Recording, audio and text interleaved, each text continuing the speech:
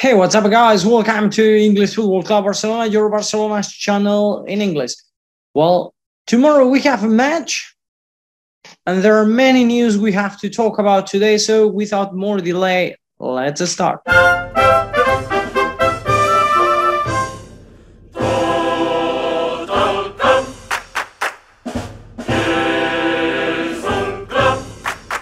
As I was saying in the previous, in the intro of the video, we have a match tomorrow. We have to go to Pamplona, to El Sadar to play against Osasuna. One, uh, a great team. Actually, it was expected to be one of the strongest teams from this medium seven this year. Sadly, it's not like that, and it's. I said sadly because it's one of my uh, of the teams near my home and I always, of course, want them to to win, especially when they face Real Madrid. But well, uh, today Xavi did the press conference about this match, and then he talked about many things very interested or interesting. Sorry. For example, uh, first of the things he talked about the match of tomorrow, that he said that probably the problem of Osasuna is that they defend quite quite good that we are going to have problems to pass them. But what we have to do is what always he expect Barcelona he expects Barcelona to do to control the match, to have the ball, to create chances, uh, opportunities, etc. But he said that it's going to be complicated because Barcelona really defend the area very good, and actually they have a very direct football. So it's going to be very difficult to compete against them. So let's expect. Other things he talks, it was about Benaiges. I think that's the name, Albert Benaiges. Uh, if you don't know who's this guy, we didn't talk about this because I didn't read it yesterday. It appeared a bit later. And it seems that Barcelona, from the formative team, from the base team, from the kids, talking more more dark, more clearly, uh, this guy has been ca- caught by the police because he was he was in a kind of pedophilia thing. I'm not sure how it worked, um, or I don't know how to explain you exactly. Anyway, uh, as Xavi was asked about this, he said that he's surprised about this because he was one of his teachers when he was in La Masia. Uh, he has a lot of respect for him. Actually, he has said that he has nothing to talk about that. That lets justice do its process. Um, and, and also he said i have no information about what it has appeared. I do not know anything. So uh, i have nothing to talk about. This it's a very complicated thing because it seems that some kids or it's i don't know exactly because i didn't read it. I was surprised but i didn't get to read it. It seems that he got some problems with some kids and during the years not not just now it seems that it has happened during the years he was in working for barcelona and then he has been he has released his position and now it's the justice who has to work about that. And then he has talked about other things about players for example luuk de jong. He has said that we have he has characteristics different from memphis depay so we have to use him to take profit from him about the how the the the team is now after being eliminated by the Champions League. He said that uh, he's worried about this, especially because the feeling of the of the plantel. But we have no time to be sad. We have no time to be thinking about that. We have to recover. We have to win. We have to go up. That's true. We have no time now to be sad. We have to keep fighting for La Liga because now if I'm not wrong, we are eighth. As I read before, later we can see it because I put the the table there. But we are eight. We are six points far away from Champions League, uh, from the Champions League's positions, and we have to really try to get there. That should be at least the main objectives of the season. And then he has talked about the the players that anemically that they don't have technical problems or whatever. That it's a problem of more it's a more psychological problem that they are they are they have like a defeat mental uh, issue instilled on their minds i'm not sure if i'm being clear on that sentence, but it means that the players are used to lose. They don't have the mind, the, the winning mind in that moment, and he has to do a bit of psychological work on the players to let them change that. And also, he has talked about many other things now about players in the market. He has said that in this moment, everyone is on everyone has to stay. Actually, Barcelona, it seems that they don't think that, that they want to sell some players. For example, Ter Stegen, Luuk de Jong, sorry, frenkie de Jong. They are important players, or Dest. There are players who may be out, uh, probably to, well, Umtiti and Coutinho that I read yesterday. And that's the same always they are always in the to to be out later we explain too but well um, all those things he was asked about. Uh, well let's see because Osasuna last year we won 0-2 actually is not a field or where we used to to lose. Um Osasuna this year is not having a great season actually. Uh, last year I don't remember. Uh, we were winning 1 0 and then Moriba scored. So, no, I read wrong because we are seventh yet. That's a table of some minutes ago. Well, anyway, uh, as you can see, Osasuna is there on the fifth, no, on the 11th, but they've lost the last three matches and they drew the last two. Actually, at home they have they have just won one match this year from the sorry, from the last nine matches they have played at uh, El Sadar, they drew four and they lost four. So as I'm saying, they are not exactly where they are, is expected from this team this year because it's quite good actually. They have a great team, I think, and the position where they are, it should be a bit better. But um, I think it's a good chance to recover from what happened. But let's see, because lately if we don't score. This is the convocation, the squad list of Barcelona, and we have, uh, well, we have Abde, Abde, Balde, Gavi, but we have one special player more, Jutgla. Okay, Jutgla, Jutgla. Here we have a picture of him. Is from uh, from Barcelona B. Um, actually, he was from. No, wait a second yeah, I think it's from Barcelona B, if I'm not wrong. I don't remember exactly now because I'm reading the information, but I don't, I'm not sure. Anyways, he's, he was formed in El Espa- in Español. He's not exactly from La Masia. He's from uh, La Masia, but from the other the other team of the club of the city, from El Español. And it's uh, it's incredible this year because um, he has come because we don't have Memphis Depay. As you know, we have some players injured. Jordi Alba is one of them, as you can see, or you could see in the convo. It's not in the list. Memphis Depay either, and uh, neither. Sorry, and to solve that position, we are getting another player from La Masia, from Barcelona, and this is Jude Jutgla. This year, he has scored at least four matches and four assistances in 15 games. It's true that it's not exactly many. After 15 matches, it's not that those good numbers, but well, it's a player who just came to Barcelona, and probably tomorrow we're going to see the plantel there. Um, then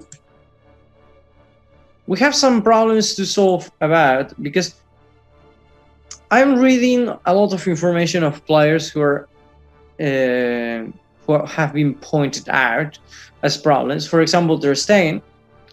Ter Stegen is not the first time he has a problem. It's actually since a long time ago, since since Koeman arrived, or since that two eight, it seems that he's he has lost a lot of concentration. Uh, that lately, even he's failing taking the ball away from his foot. Um, yeah, and, and, even it's not that saver when we are having pro- defensively problems as before. So his performance is quite war quite not good. Dest also has not been that that player that it was expected. That Ronald Koeman asked Barcelona to sign him. Barcelona brought him to here, and it's not what it's expected. It's not just he's playing the problem of playing as a, a wing. that that you can forgive him because it's not his position. As when we had Sergio Roberto, and we said it's a hole, but why? Because it's not his natural position too. So, but here, even though Dest as a right back, it, it, it, hasn't performed as expected. Piqué too, Piqué that you can see the pic in the picture. It's because since a long time ago we've seen Piqué not being the, that Piqué that saved us from many things. And the problem that we are having is that when we don't have Piqué, we have many mistakes. We, we have many problems. Actually, you can see that when Eric Garcia and Lenglet were playing together, etc. We have a lot of problems with that. Actually, but when we played with Eric Garcia and Araujo, I think we played quite good. So why not to try that formula? Other one, another of the players is Luuk De Jong. Um, and well, I think De Jong but here is not the Luuk De Jong we're seeing. I think it's meaning Frenkie De Jong.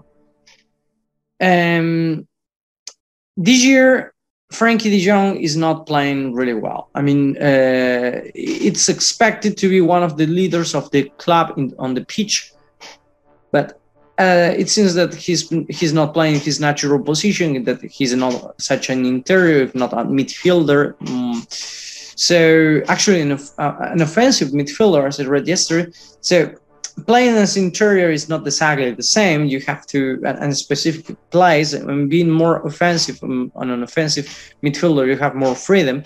So being subjected to that position, it seems that is making Luuk uh, Frenkie De Jong not being uh, so active and making him disappear. Now, and then we have other players, for example, Memphis. Uh, at the beginning, it was expected to be the maximal. Well, actually, he's the maximum scorer of the club, but it was expected to have more protagonism, uh, to be the starting player of the club.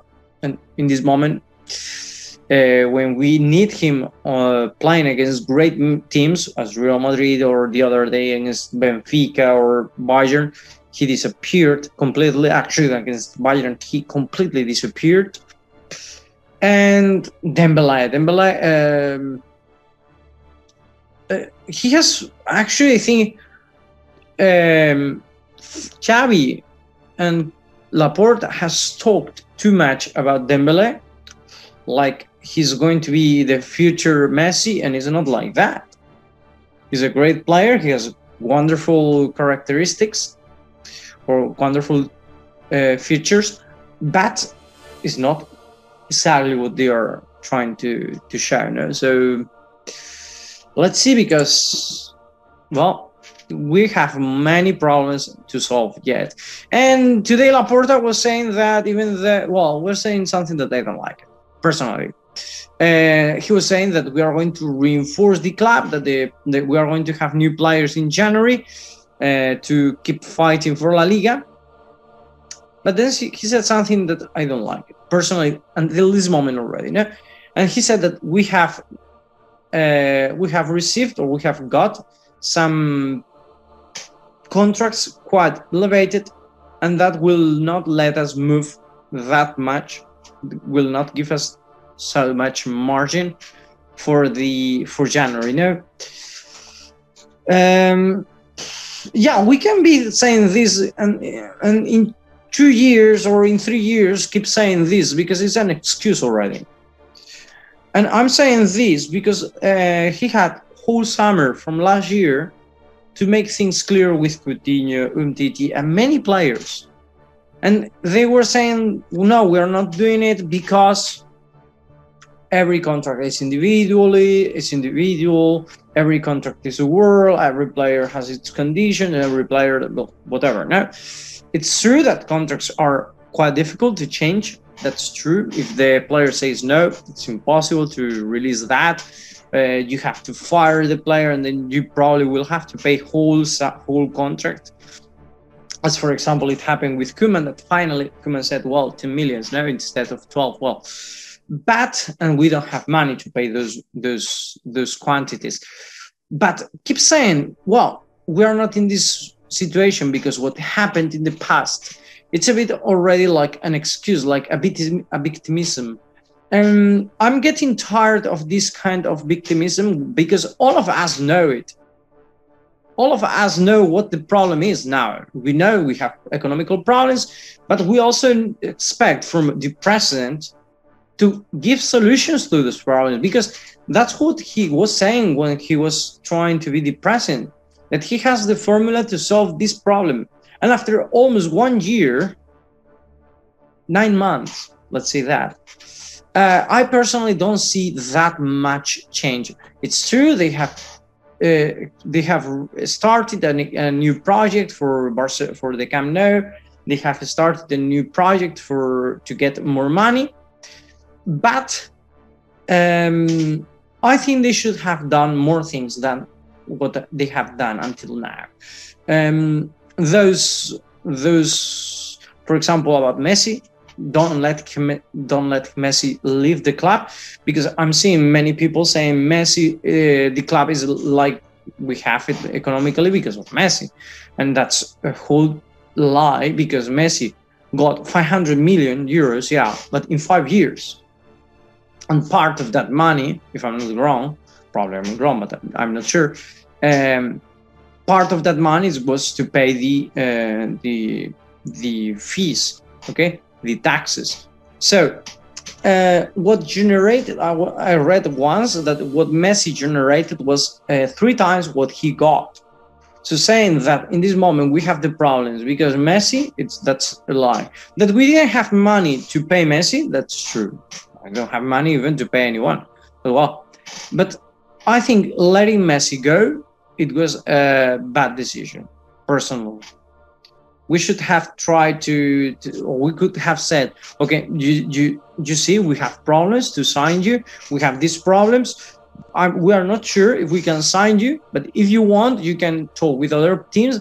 And if the last day of the this we cannot sign you you, you are free to sign with another one or something like that i think barcelona didn't try enough to keep messi and keeping I, i'm saying this because messi attract or attracted many investors, many, uh, yeah, well, many investors, no? And in this moment, that Laporta expected to increase the number of partners from 25 to 49, not having Messi is a problem, real problem. And yeah, now we're having new team, new new companies that they want to be partner uh, create a partnership with barcelona to put their names in the t-shirt etc but what we are getting is not that what we got before like in qatar or uh, years ago in well, that we still have it you know. So we should try to i think that was a bad movement. And like this i'm I'm seeing things that I don't completely understand. For example, this mega project of Barcelona Spain that it was it should have been done long time ago. Now it's going to be one. Uh, it's going to be it's going to double the the the amount of money that we debt already.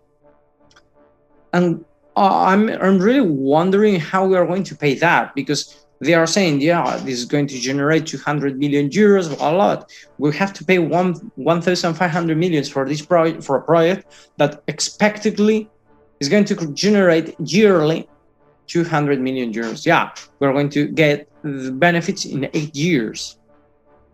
But later, we are going to keep maintaining this project.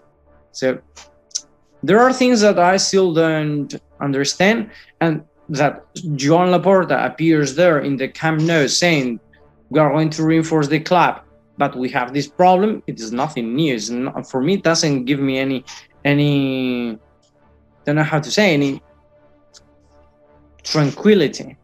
I don't feel released after this speech because you are exp- you are just saying we are going to do these things. we don't know really if we can do, and you are just pointing the problem away or out we have problems, economical problems. Yeah, well, say, tell me something new, no? But well, I'm really sorry because the video of today was too long.